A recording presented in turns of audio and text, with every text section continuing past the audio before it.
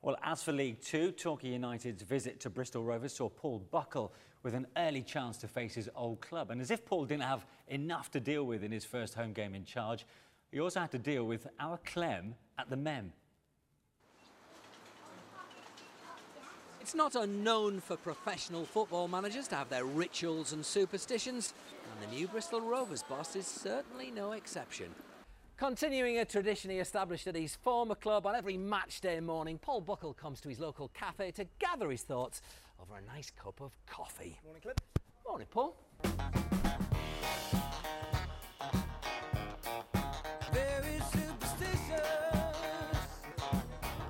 So is this pre-match relaxation or is this a, a caffeine boost to give you a zhoosh into the game and all that uh, adrenaline stuff? A bit of both. Is it? Yeah, yeah, a bit of both. Yeah, yeah. We feel the job's done now. We feel organised and just relax the morning of the game.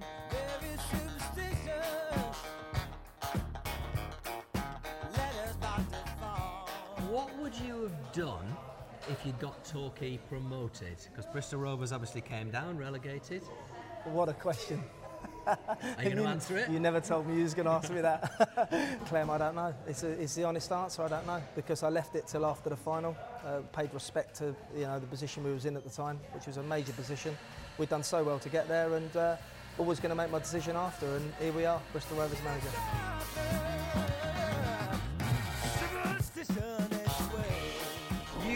For Torquay's youth teams. Yeah, I play for under 15s now. They thought I was going to go to Bristol Rovers, so You're a traitor. you shouldn't be in this car, son. that's all right. Thankfully, we are nearly there now. I was starting to get quite worried for Dad. Late on his first day of work. So, uh, what players are playing? I'll, I'll be in, in. I'll be in in literally two minutes. In fairness, you've been saying you're going to be in in two minutes for the last hour and a half. That's no left turn. We're not perilously late. No, keep keep going up. Follow the road. Yeah. Oh, you can go in Yeah. there. Yeah, yeah, that's it'll do us. Yeah. I'm going this What's one. this car here? Have you got a parking space? There we are. Reserved Paul Buckle. Does that mean the Portakabin or this? Just the office. I mean, there's a lot of clubs that got potential, but I mean, you know, look at the city. It's the sixth biggest city in the country. Uh, neither team has really done anything over the last 20, 30 years. Um, yes, the potential is huge. We, we had one bright spot and we got promotion in a JPT final one season and took 35,000, I think it was, to the Millennium Stadium and then 40,000 to Wembley. I mean, that shows the potential of the club.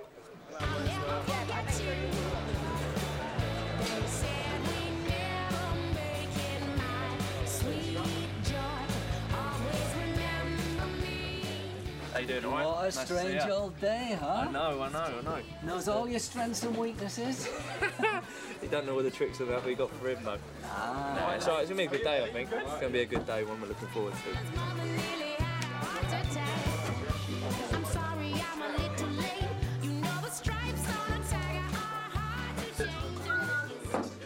Let the judges go, these chaps. You're going to get the big introduction now, I think, aren't you? Yeah, I'm definitely going to look to the left and not to the right. You're nervous about this, I can tell. Buckle certainly didn't expect his defenders to allow his former charges so much time and space, and Torquay took advantage. Just 11 minutes in, and Taiwo Atieno put away his first league goal. The Yellow Army were delirious, and it soon got even better. Kenyan international Atieno pounced on Michael Smith's back pass.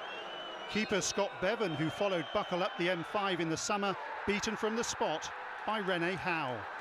Rovers' close season revolution meant 10 players were making home debuts. Scott McGleish went close. And although Buckle needed a second half response, only Bevan's sharp save prevented the goals from soaring out of sight. But there was hope for the gas when Joe Anyinsah's effort was flicked up and Byron Anthony was left with a simple finish. Rovers had more than half an hour to salvage a point. Another ex-Gull, Chris Zebroski, came off the bench but missed both the target and the opportunity.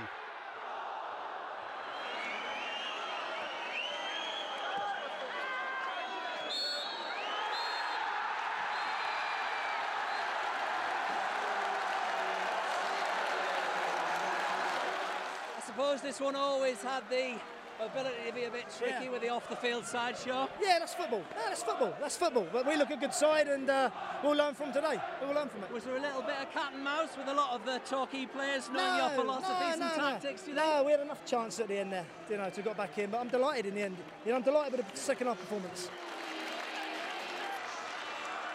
How to win friends and influence people. Yeah, I mean, obviously it's, it's special for the supporters. As I said, it wasn't a pull back on Martin Ling moment today. It was for the supporters.